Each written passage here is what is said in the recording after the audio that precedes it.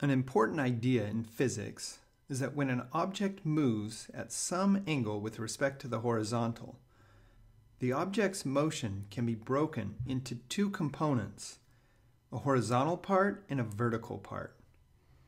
Doing this allows us to simplify complex problems in physics.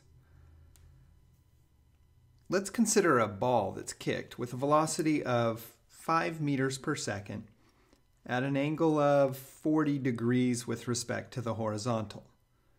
The ball's velocity can be broken into a vertical component, we'll call this Vy, and a horizontal component, Vx. So the velocity of this ball is composed of two parts, an x component and a y component. When solving problems involving motion in two dimensions, we'll often consider these two motions separately. Its motion in the x direction occurs independently of the motion in the y direction.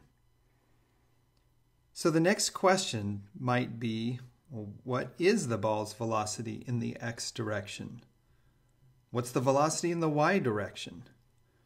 We know how fast it's moving at that 40 degree angle, but can we determine the x and y components of that velocity? Well, in order to determine the component vectors, we should recognize that our velocity vectors form a right triangle. And recall that we can apply trig functions to determine the sides of that right triangle. One of those functions says sine theta is equal to the opposite side over the hypotenuse. Remember, the hypotenuse is the largest side of the right triangle and is always located opposite to the right angle. And the opposite side of this right triangle is Vy. So to calculate velocity in the y direction, I would use the sine function. Let's substitute in numbers here. Sine of 40 degrees equals v in the y direction divided by the hypotenuse of 5 meters per second. So Vy equals 5 times sine 40 degrees,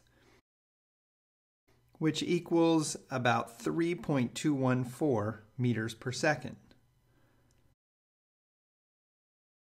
What if I want to know the velocity in the x direction? Well, remember the cosine function gives us the adjacent side divided by the hypotenuse.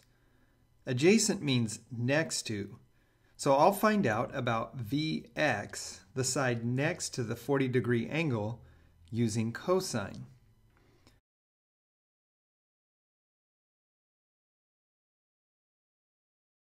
The cosine of 40 degrees equals Vx divided by 5 meters per second.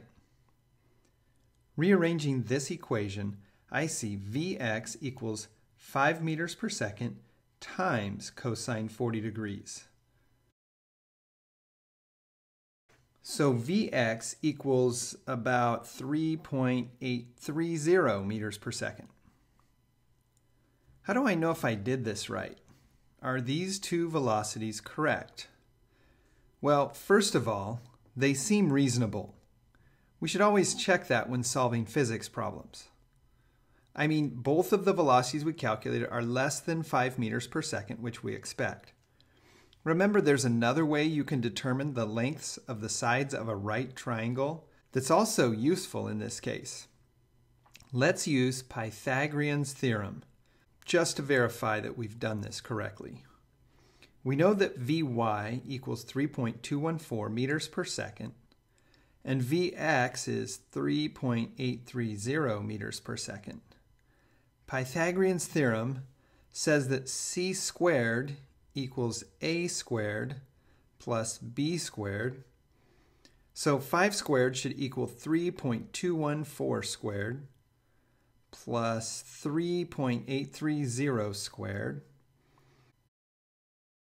And checking these values on the calculator verifies this within our precision. Remember, this equation can be useful in finding a missing value anytime you're working with a right triangle such as this one. So if we wanted to calculate how far this ball might travel in the x direction, or the maximum height that it would reach, we've completed the first step by breaking this velocity into its component vectors into Vx and Vy. Now we're ready to proceed with some further calculations on the motion of this ball.